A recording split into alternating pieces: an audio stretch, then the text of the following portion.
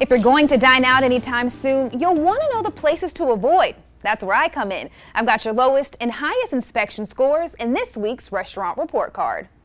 We're going to start in Clarendon County, where Gable Mini Mart on Highway 301 scored a 79, our lowest grade this week.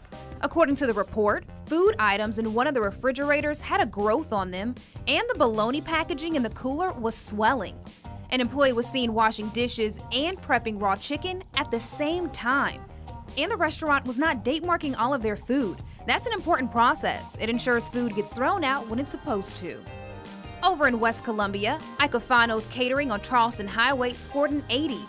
The inspector says they were not actively warewashing. If you haven't heard this term before, it's basically the process where you take your dirty dishes, scrape them, wash them, rinse them, and sanitize them.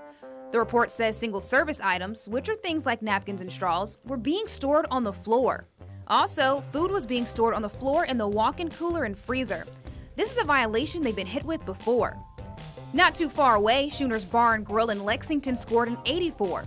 According to the report, when a pan near the grill was uncovered, bugs flew out into the kitchen.